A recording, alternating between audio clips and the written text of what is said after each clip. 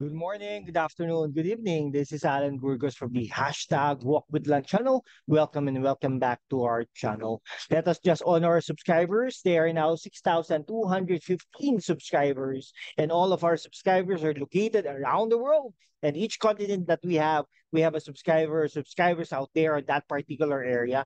Thank you so much, and God bless you all. All right, so okay, ano muna tayo, no? Uh, uh, break na tayo sa national politics kasi napaka ano no napaka dumi napaka anyhow napaka nakaka-stress din pala. Uh, let's be back dun sa ano natin. Let's go back dun sa ating uh, local politics naman no diyan sa Makati.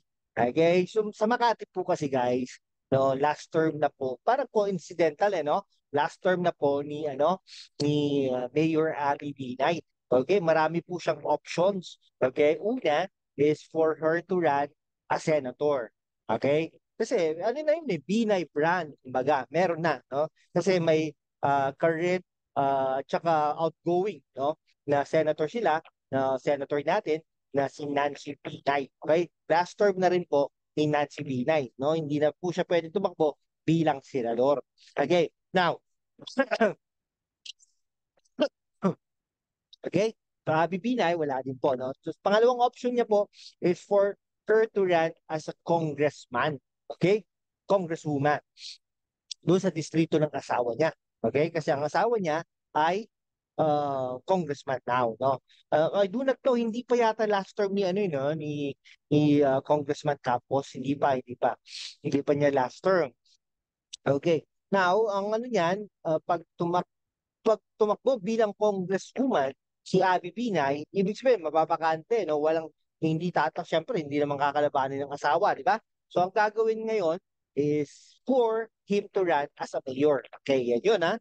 Okay, now, pag ano naman, tatakbo si Abby Binay bilang mayor ng Taguig, so pwede rin naman, no? Pwede rin naman siya tumakbo bilang mayor ng Taguig, okay? So, kung mag-mayor siya ng Taguig, so definitely, ang ano, ang campus ay tatakbo bilang mayor kasi sinabi na ni Abby Binay, no? Ang gusto niya maging susunod na mayor ay ang kanyang asawa na si Campos. Okay? Yan.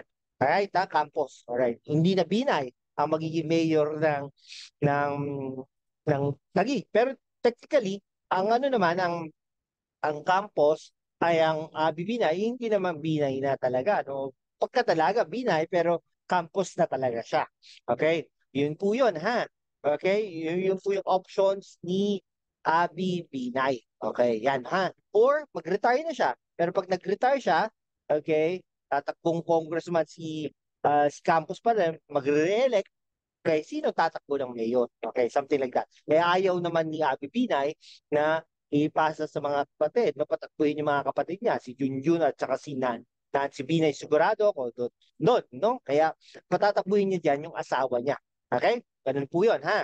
Pagkatapos po nun, okay, ang options naman po ni, ni Campos ay uh, mayor, re-elect, okay? Mayor re-elect, pero maapektuhan pa rin talaga yung ano nila, no? Kay, kay Ate Binay, no? Now, si Nancy Binay naman, sabi natin last term, no? Pero ang options niya po ay, ay pwede po siya maging congressman, no? Congresswoman dun sa distrito ni ano, ni ni Campos, no? So mag-uusap silang dalawa, no? Uh, mag-uusap sila bilang kapatid ni Abby Binaya, mag-uusap silang tatlo, no? So si Campos, tatakbong mayor yan, tapos si ano naman, si Nancy Binay ay tatakbong congress woman yan ng distrito nila, no? Okay? Same district din niya, ay hindi, sorry. Yung other other district pala tumakbo si ano, si I do not know kung ano ha, kung taga doon siya or sa kabilang distrito. Okay? so something like that. Okay? So yon. Uh, ngayon, pwede rin siya tumakbong mayor. Siyempre mayor, 'di ba, ng Makati City. Okay? So yan, side ng ano yan, Junjun Pina yan. Okay? So pwede tumakbo yan bilang bilang mayor ng Makati. Anyhow, marami rin siguro na itulong yan sa Makati bilang senador ng Pilipinas. Okay, ganoon naman po 'yun, 'di ba? Yung mother mother place nila, yung talagang home nila ay talaga tinutulungan nila unang-una sa lahat. okay, ganun po 'yun. At in the per, at ano, uh, ma-preserve pa yung ano, yung uh, tag ito, mapre-preserve pa yung, yung Binay legacy, kumbaga, no? Siyempre, direktang ano yan eh, no? Uh, teka, isa-search ko po ah, hindi ko alam. Ayun, ah, may ano, may sawa na pala. May sawa na pala si ano, si uh, si Jose Benjamin Angeles. So technically, hindi po yan ano, hindi na rin pala Binay si ano, si Nancy Binay, no? Kumbaga. So yun, no? So pero ano pa rin, no? At least anak nila Elenita Binay at Jejomar Binay. Si Jejomar Binay po kasi ay naging um, uh, naging mayor na matagal, no? Sumunod, ano ano, sumunod si Elenita Binay, tapos uh, B, uh, Jejo Barbinay, tapos Junjun Binay, tapos Abi Binay, no? And then of course, tingnan natin kung uh, mapupunta yan kay Nancy Binay, no? At least Binay pa rin, no? Binay, no? Yun yung ano nila, legacy nila, no? Eh uh, kaya uh, yun ang legacy nila. Tignan natin kung ano. Ha? Okay, sige. Hanggang dito na lang po mga kaibigan ko. No? Maraming salamat po. Kayo po ba, kung, kung, kung kayo ang tatanungin, sino po ba ang gusto nyong maging mayor ng Makati? Uh, si, Ka, si Congressman Luis Campos. By the way, no, may nagsabi sa akin, mga Luis Campos daw ay may-ari ng EYAC. Tingnan nga natin. Luis Campos, EYAC.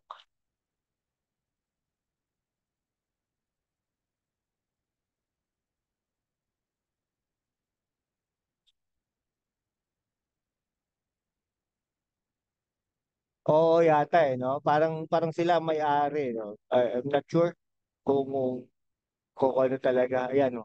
Ah, Cavite.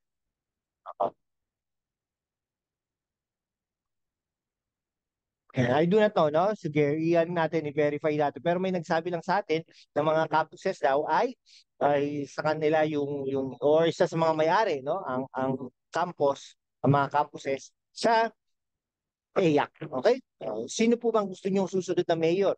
Si Luis Ka, Congressman Luis Capos ng Makati. O si Senator Nancy Binay na anak ni Jojo Binay at Elinita Binay. Okay? Ang susunod na mayor ng Makati. No? Hashtag walk with land. Okay. Sige, maraming salamat. Kung uh, kung sino po ang gusto niyo susunod ng mayor ng Makati, pakilagay lang po diyan. Mag-comment section sa comment, uh, mag-comment lang po kayo sa comment section. Sige, hanggang dito na lang po guys. Maraming maraming salamat. God bless you all.